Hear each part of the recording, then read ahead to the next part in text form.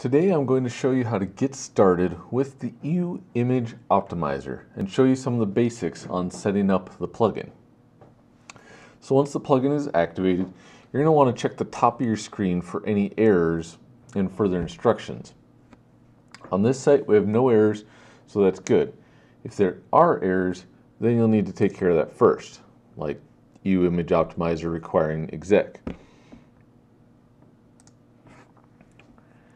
At the top, there's a link to the plugin support forum. So if you need any help, especially with any of those errors that might pop up, uh, that's where you can uh, post your question and I will do my best to help you out. The next thing we see here is the plugin status, which has a nifty counter to tell you how much you've saved so far. This is a brand new install, so not much. The plugin includes binaries for JPEG Tran, optipng, uh, Gifsicle, as well as uh, pngquant and WebP, which are options uh, that we'll talk about in other videos. If it's able to use those, uh, these will all be green. And pngout is an optional tool that is not enabled or not included by default either. Uh, the graphics libraries here are only used for conversion and EWWW supports four different uh, libraries, but you just need one of them available to do conversion.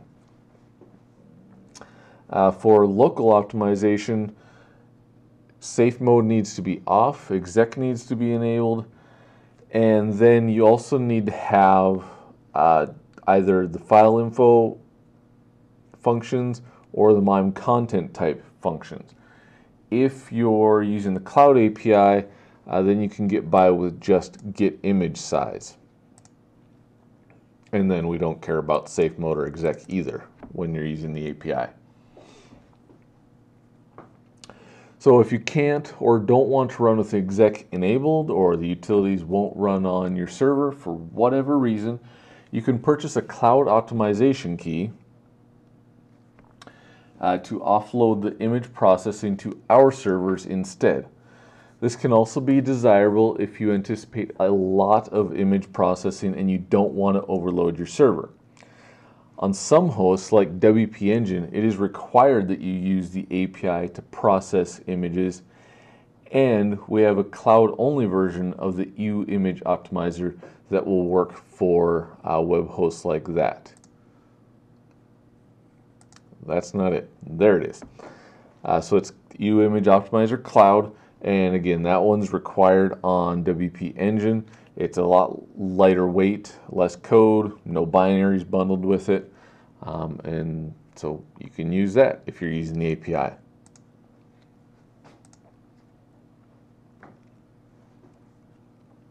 So under the basic settings here we have the ability to strip all JPEG and PNG metadata this is on by default, but you can turn it off to preserve your image metadata and EXIF information.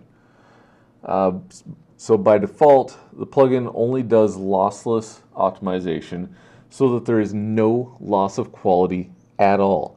If you aren't concerned with pixel perfect optimization, we also have lossy optimization for both JPEG and PNG.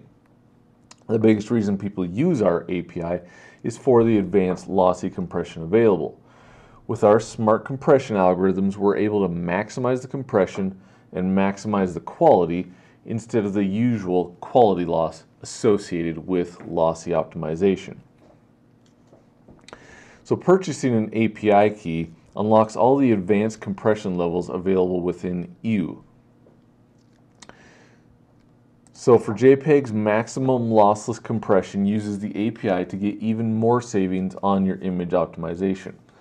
Lossy compression uses JPEGmini, whereas maximum lossy uses TinyPNG, or TinyJPG, sorry, both of which achieve some pretty amazing results with minimal loss of quality. Things are mostly the same here with PNG images, um, except there's two lossless modes because the maximum mode can be quite time consuming.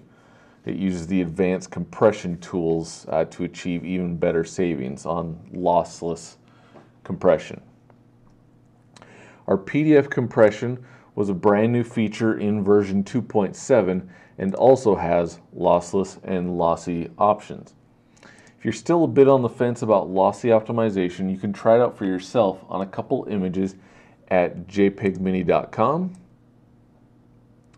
or tinypng.com, depending on which, which options you want to go with. You can try them both out and see what you like better.